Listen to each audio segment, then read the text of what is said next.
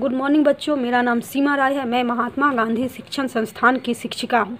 आज हम लोग गोले में दिए गए वर्णों की सहायता से शब्द बनाएँगे। आइए हम इसको शब्द बनाते हैं। गोला में एक वर्ण लिखा हुआ है। कौन सा वर्ण है? क। और ये क लगा के हमें ये सारे शब्द को पूरे करने हैं। तो च, म, क। क्या हो जाएगा? चमक। च, म, क। चमक। द, म, क। दमक। न म क नमक। ध म क धमक।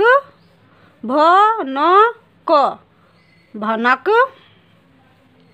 आइए, इस साइड चलते हैं।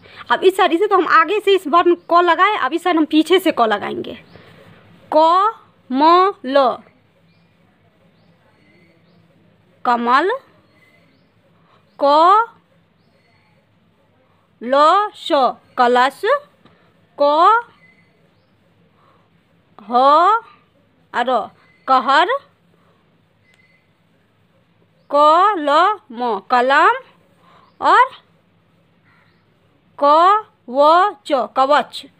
तो हमने बच्चे, आपने देखा है किस तरह से हमने इस साइड भी क लगा के नया शब्द बनाए और इस साइड पीछे से क लगा के हमने इस शब्द को पूरा किया। आइए हम इसे पढ़ के देखते हैं।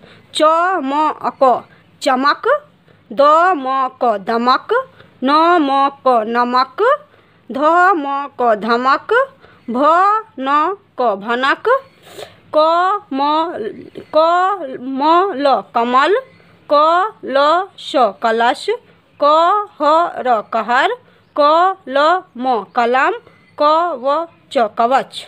बच्चे, मैं उम्मीद करती हूँ कि आपने गोले में दिए गए वर्णों की सहायता से शब्द बनाना सीख गया। चित्रों के सही नाम के आगे सही का निशान लगाए। क्या चीज़ का चित्र है ये? नयन। नो, यो, नो, नयन। क्या चीज़ में टिक लगेगा? नयन में। ये क्या चीज़ का चित्र है? मटर। तो मोटर। क्या चीज़ में लगाएँगे हम? मटर। ये क्या चीज़ का चित्र है? सड़क सड़क तो हम क्या चीज़ में टिक लगाएँगे? सड़क ये क्या चीज़ का चित्र है? शहद। स शहद शहद। बच्चे, मैं उम्मीद करती हूँ कि आप ये चैप्टर ज़रूर सॉल्व करेंगे।